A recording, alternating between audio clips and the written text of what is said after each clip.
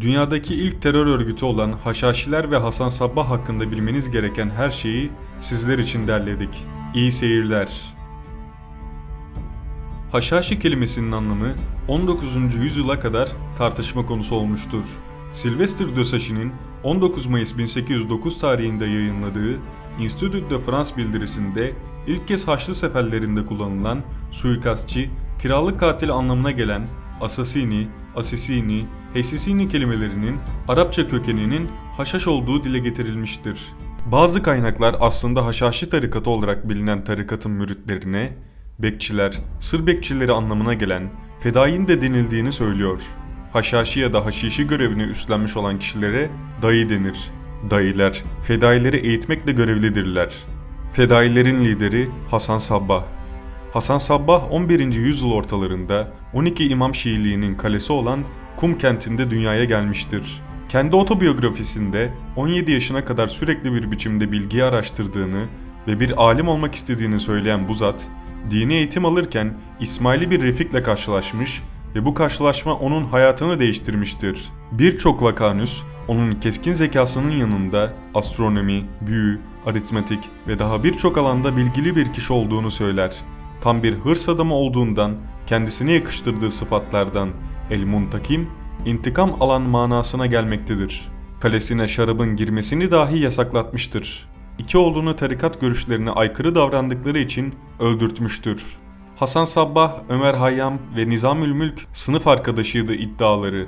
Bu üç arkadaş aralarında bir anlaşmaya göre hangisi iyi bir mevkiye gelirse diğerleri ona yardım edecektir. Nizamül Mülk sarayda vezir olmuş ve Hasan Sabbah'ı da yanına almıştır. Fakat Hasan Sabbah'ın gözü yükseklerdedir. Zekası ve çalışmalarıyla Hasan Sabbah'ın sarayda dikkat çekmesi, Nizamül Mülk'ün ayağının kayacağı konusunda telaşa düşürmüş ve Hasan Sabbah'a türlü oyunlar düzenlemiş, Hasan Sabbah da bunun üzerine saraydan kovulmuştur. Mısır'a kaçtığı sırada Haşhaş'ın etkilerini öğrenmiş ve oradan Suriye'ye geçmiştir. Birçok tarihçiye göre bu durum efsanedir. Çünkü Nizamül Mülk ile Hasan Sabbah ve Ömer Hayyam arasında 30-40 yaş fark görülmektedir. Hasan Sabbah İslam'ı zorla kabul etmeyen, toprakları zorla fethedilen, savaşçı ve eski gelenekleri sürdüren, yerli bir halkın kontrolünde olan Deylen bölgesine yerleşmiş, burada müritler toplamıştır.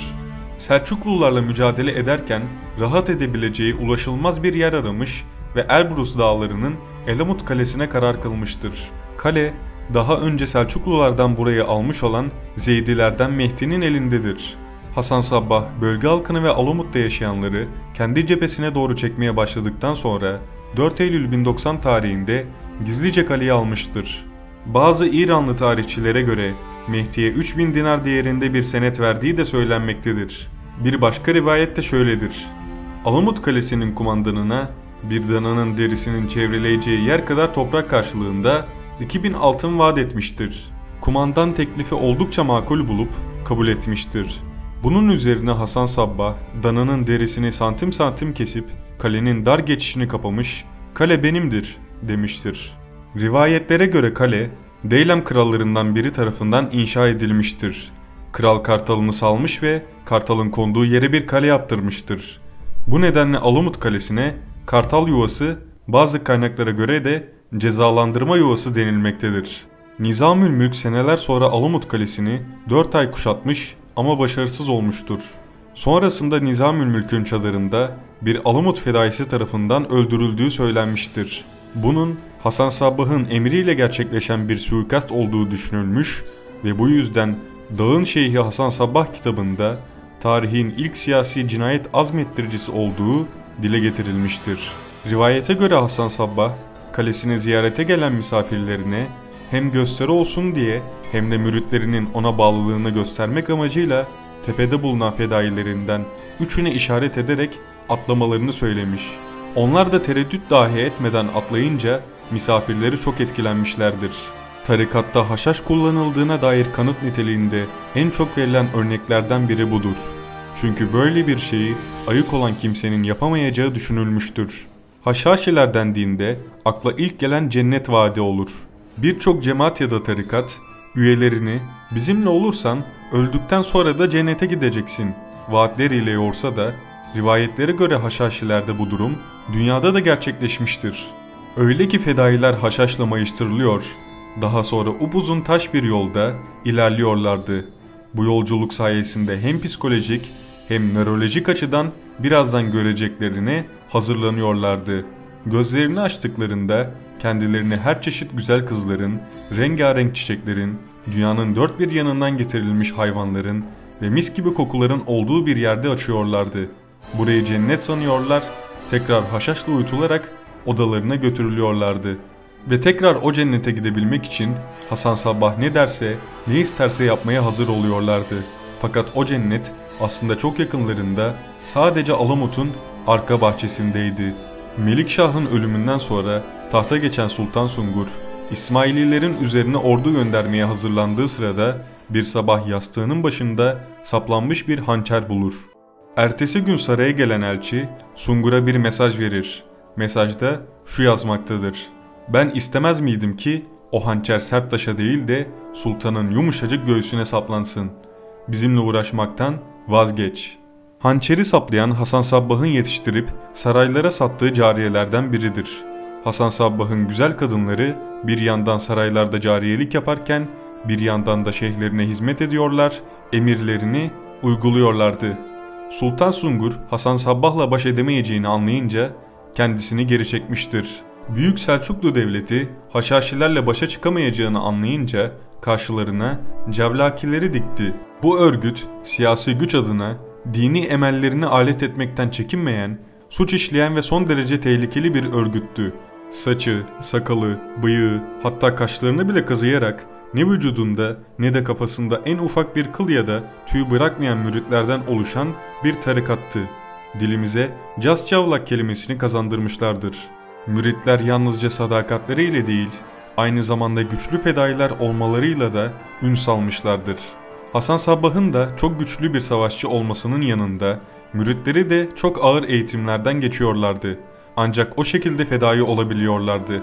Savaş taktikleri dışında İslam, güzel sanatlar, tarih, coğrafya gibi alanlarda da eğitim gören fedailer, rivayete göre Hasan Sabbah'ın emriyle nefeslerini, bilinçlerini kaybedinceye dek tutarak dayanıklılıklarını güçlendirmiş, bedenlerine hakim olmayı öğrenmiş ve kapısına dayanan Büyük Selçuklu tehlikesini savaşmadan geri göndermiştir. Rivayete göre Hasan Sabbah'ın kabul odasının zemininde dar ve derin bir kuyu vardır. Fedailerden biri yalnızca boynu ve başı gözükecek şekilde oraya dikilir ve inandırıcı olması için üstüne kan dökülürdü. Acemi mürit odaya girdiğinde kesik gözüken baş dile gelir. Cennete gittiğini ve oranın güzelliklerini anlatır ve sonrasında fedainin başı gerçekten kesilirdi. Aslında onun öncesinde de ölü olduğu, istediklerinde onu canlandırabileceklerini söylerler ve yeni müritler hayretler içerisinde kalır bir an önce haşhaşi fedailerinden biri olabilmek için can atarlardı. Fedailer kurbanlarını özellikle halk içerisinde, herkesin görebileceği yerde boyunlarına zehirli hançer saplayarak öldürürlerdi. Ayrıca yakalanan hiçbir fedai olmamıştır. Çünkü yakalanan kimse hançeri önce karşısındakine sonra kendine saplardı.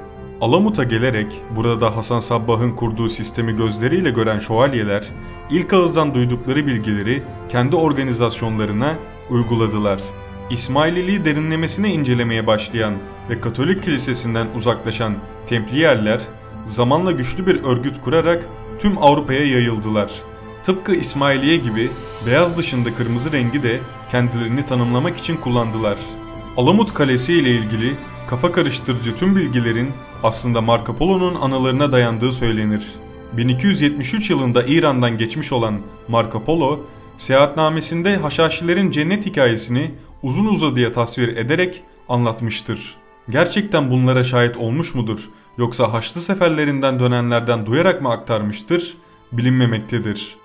Hasan Sabbah hastalanarak yatağa düştüğünde halife olması için Lemeser komutanı Kiyabuzruk Ummit'i seçmiş ve kendisini misyonerlik faaliyetlerinin başına getirmiştir. Hasan Sabbah'ın halife olarak seçtiği Rudbarlı bir Türk olan Kiyabuzruk Ummit 14 sene Elamut piri olur.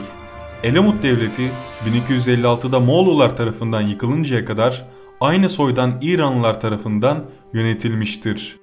Alamut Kalesi, Hasan Sabbah ve Haşhaşilerle ilgili olarak ülkemizde ve ülkemiz dışında birçok kitap yazılmıştır. Hasan Sabbah gerçeği, Cennetin Fedaileri, Alamut'un Fedaileri bunlardan bazılarıdır. Yazılan kitaplardan en bilinenleri Vladimir Bartol, Fedailerin Kalesi Alamut, Bernard Lewis, Alamut Kalesi ve Hasan El Sabbah, Amin Maluf, Semerkant'tır. Bernard Lewis'in Alamut Kalesi ve Hasan El Sabbah kitabı New York Bestseller listesine adını yazdıran kitaplardan olmuştur. Hasan Sabbah'ın müritlerinin tek bir işaretiyle tereddütsüz intiharı Assassin's Creed adıyla ünlenecek video oyununun temeli olmuştur. Videomuzun sonuna geldik. İzlediğiniz için teşekkürler.